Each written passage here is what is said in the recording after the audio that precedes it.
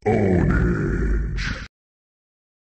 guys, ketemu lagi dengan saya Erwin. Hari ini kita akan melawan Cerberus Very Hard. Untuk item dan informasinya, kalian bisa melihat di akhir video ya guys.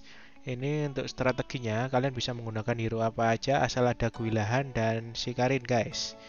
Nah, kalau bisa kalian menggunakan second healer yang semi DPS. Di sini saya menggunakan Serena ya. Nah, ini sekarang kita pindah ke strateginya. Ini si Cerberus ini akan incernya random ya tapi hero-hero depan aja. Jadi dia akan mengincar hero yang paling dekat sama dia. Nah misalnya seperti ini dia pindah ke Gwilahan ya. Nah kita larikan Gwilahannya jadi jangan diam guys. Jadi kalian jalan-jalan terus. Nah sewaktu yang di target ini lari-lari yang lain bisa terus DPS ya guys ya. Jadi kita pancing dia terus. Jangan berhenti ya. Jadi kalau kalian berhenti nanti dia akan mengeluarkan skill yang lingkaran-lingkaran itu Nah, kalau dia kalian dekat dengan dia, dengan mulutnya si Cerberus ini, maka skillnya akan kena party kalian. Seperti ini guys, habis ini dia akan mensummon yang meteor itu ya, yang lingkaran di tanah 3 biji. Nah, ini.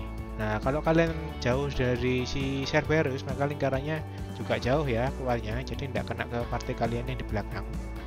Jadi itu strateginya guys. Nah ini dia pindah ke Serena ya, pilihan saya kejauhan. Nah, kita follow dulu Serena, Serenanya, menghindari AOE-nya dia. Nah sekarang dia ke Serena ya, jadi Serena yang lari-lari. Oh ini kembali ke gulian guys. Ini jadi guliannya taruh jauh-jauhan seperti ini, jangan di TP guys. Jadi saya ini guliannya sama sekali enggak, enggak menu ya, enggak skill ya, cuma lari-lari aja. Nah ini dia mulai summon anak ya guys ya biarkan aja nanti dibunuh sendiri sama party kita ini pancing dia ya jadi jangan sampai ke arah party.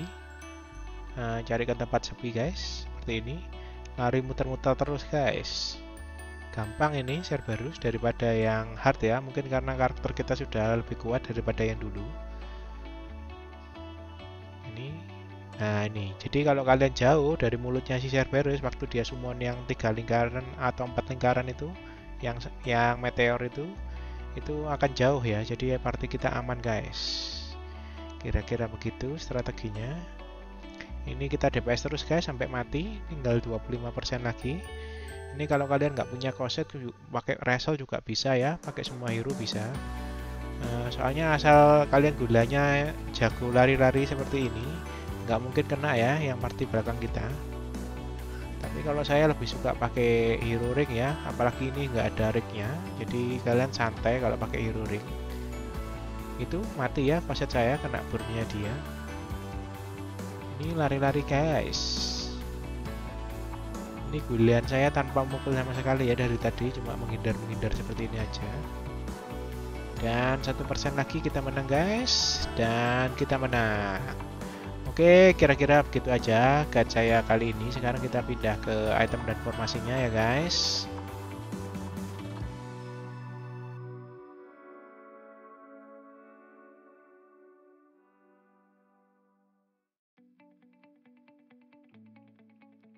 Nah, sekarang kita lihat formasinya, guys. Ini formasinya kita menggunakan Karin di depan. Kita kasih full HP ya lalu kita pindah ke DPS-nya. DPS-nya saya menggunakan Psychoset. Kita kasih full critical, kalian bisa menggunakan DPS apa aja ya, sama aja. Terus kita pindah ke Serena. Serena ini bisa jadi damage dan membantu heal ya, lumayan. Kita kasih full damage biar healnya besar. Lalu kita kasih Gwilahan. Ini yang penting ya guys, anti burnya. Ini punya saya level 50, dikasih level, skill level up ini untuk formasinya kita menggunakan taktikal. Karena itu kita menggunakan dua universal, universal di tengah dan DPS-nya di belakang. Jadi formasi taktikalnya jalan semua ya guys. Ini untuk masterinya ini malah saya belum ganti. Ini masih yang mili ya. Jadi belum saya ganti ring cuma yang skill damage nya sudah saya ganti. Lalu sekarang masterinya guys. Ini guilian saya polos ya cuma defense 2 ini.